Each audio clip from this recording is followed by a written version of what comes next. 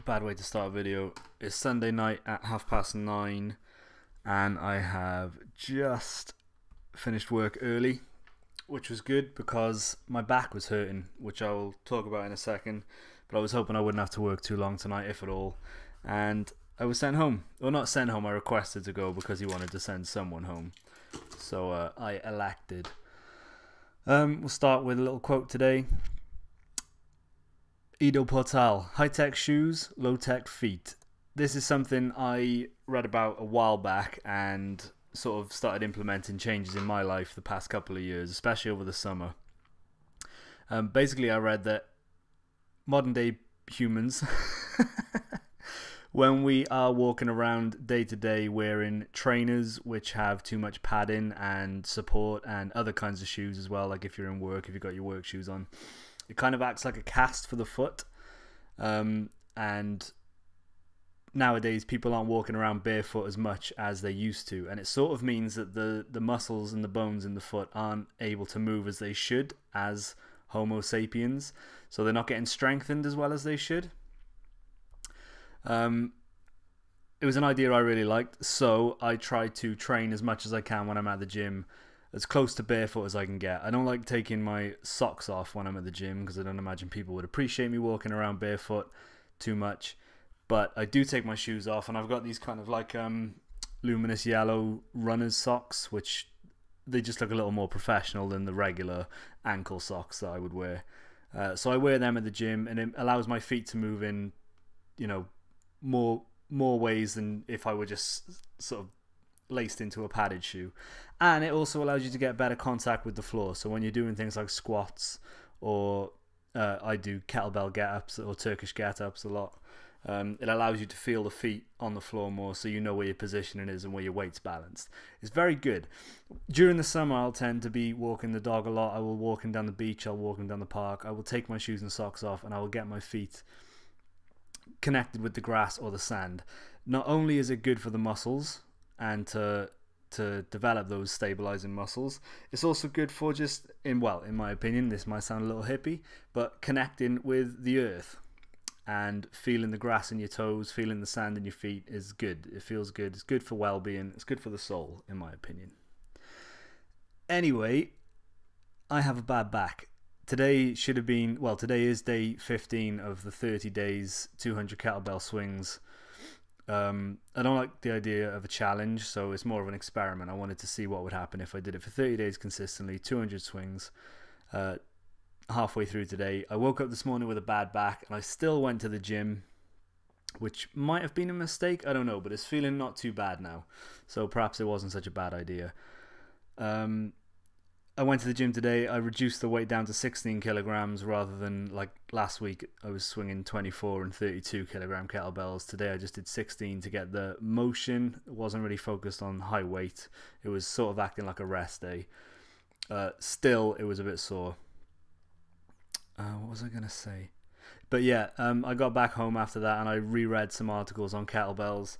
Um, I think perhaps I tried too much too soon, weight wise and perhaps forsook my technique for reps because I'm trying to get these 200 out a day.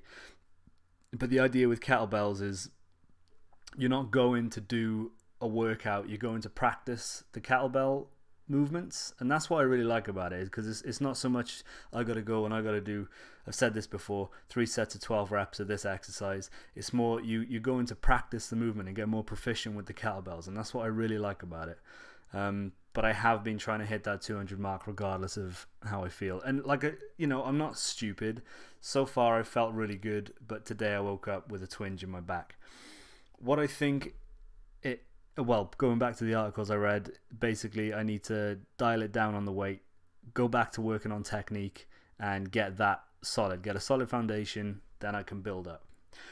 I want to be really proficient with the kettlebells. I want to be able to swing and snatch and clean and press and squat and do all those things um, that I love to do.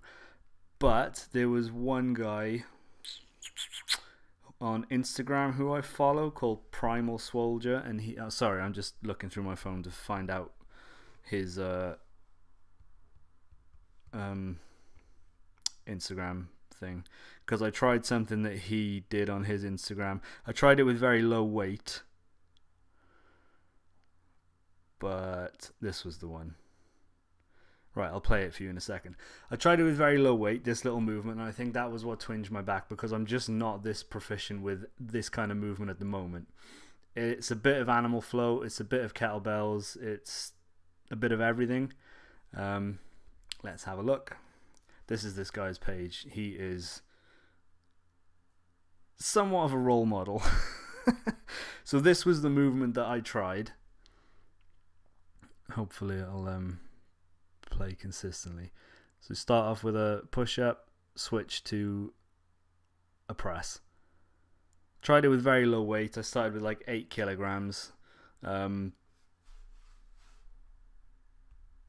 probably shouldn't have gone too far too soon. I only wanted to try the movement, but I think the jerk in motion is what maybe has hurt my back a bit. But look, I mean, look at this guy. Let's go back to him. He's got tons of videos. There he is. Oh, look at him in his smart suit with his mum. Uh, yeah, he's just he's just a good guy to follow. Very motivational, um, and I find one thing I do enjoy about training is copying people that are already good at it. This video feed is fucking awful. Uh, no, don't want to go back to the quote. I want to go back to this. Um, but anyway, yeah, follow people that are already doing it. You wouldn't seek financial advice from a broke guy in a pub. You would seek financial advice from the millionaire that you probably don't know in real life. Uh, but the idea is to sort of surround yourself with people who are, are good at what you want to get good at.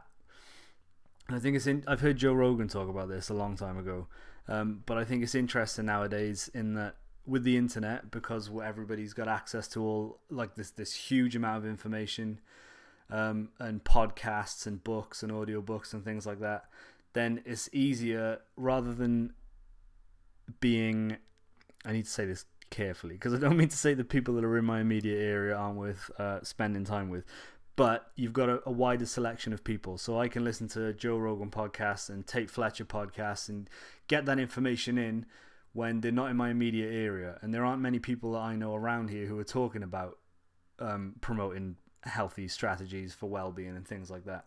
Um, it's just very it's very beneficial. You know, emulate the people that are already doing the things that you want to do, and I think that's a good way to get to it. This turned a bit rambly, but I think I did some good information. Um, one more thing. Yesterday was my uh, not yesterday. Last week was my birthday week, and I had a really busy week of like social events in the evening. So I had very little time to get to the gym, but I'm really proud that I managed to do it anyway. So like Thursday evening, I went out for dinner with some friends, and we didn't finish the meal until half past ten, which meant I got back home at eleven o'clock. I sat on the sofa, and I hadn't been to the gym that day. I sat on the sofa for ten minutes, and I was like if I don't go to the gym, I'll break my streak of the 30 days. So I got up and I went to the gym, and it was late night, but I did my 200 swings, and it was great and it was good. And I'm very, very happy that I'm. I'm in that frame of mind now where I want to go. I can't wait till tomorrow to go back to the gym. Even if I can't do my swings because my back's not feeling great, I'm going to do something else. And this is what I love now. I'm becoming that kind of person. It's great. Anyway, Thank you for listening. This has been the Kettlebells and Ketones show. Remember, high tech shoes, low tech feet. Start living a bit more like Neanderthals. I don't know what I'm on about. Right, good night, everybody.